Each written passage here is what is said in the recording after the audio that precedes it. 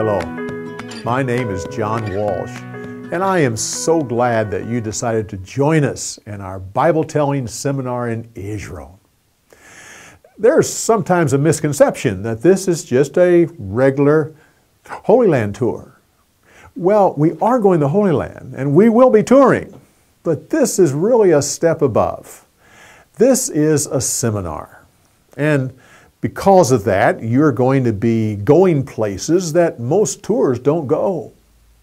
We have eliminated all of the non biblical sites, which, by the way, there are some wonderful non biblical sites. And so we have given you a, a, free days for you to go to some of those. But in our regular time together, we have eliminated all of the non biblical sites and concentrated only on those sites that are in the Bible. Consequently, we'll be going places, like I said, that other people don't go. But because it's a seminar, there is some preparation. So we decided to make these films so I can just sit here and chat with you a little bit and help prepare you for what is about to happen.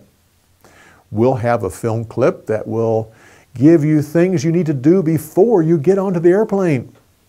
Uh, some preparation, some things to do. We have another film clip that'll prepare you for when you get off of the airplane and what exactly you need to do. We'll have a film clip on how to prepare and learn a story and prepare to tell it. Then we'll give you a day by day happening. We'll have a map and we'll take you around to the various places that we are scheduled to go to and tell you some of the things that we hope to see. These films were made several years ago. Still, most of it is quite relevant. I'm going to break in every, every now and then and kind of update it a, a, bit. You can tell by the little bit, bit different background when, when I'm doing this. Uh, what we're doing in the set of films is we're taking a typical trip. Every trip is a little bit different.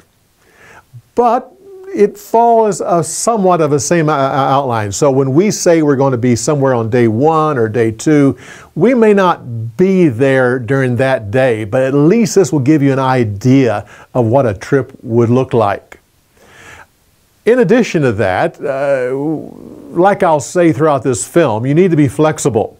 Because even when we send you the information, tell you exactly where we're going to be on what day and what we're going to do, uh, we can't always control that. Uh, weather may change. Uh, uh, uh, you may have traffic problems. Sometimes they'll just close down an entire site just because of some festival that's going on, and we can't control that. So flexibility is the main thing that you have to uh, understand here also throughout these films, I talk about us, uh, uh, me being there.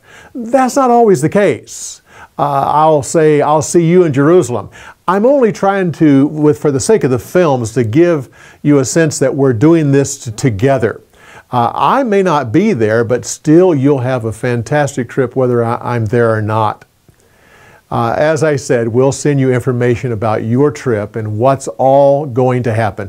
Make the preparations. Watch these films. We'll give you ideas of things to do. Follow those things. Uh, years ago, I was told back when I was in college that if you take a trip to Israel, you need to prepare. And most people don't. They don't prepare by following the guidelines that we'll give you and the suggestions that are out there, you'll be far ahead of most people who go to Israel. So, watch the films, make the preparations, and I'll see you in Jerusalem.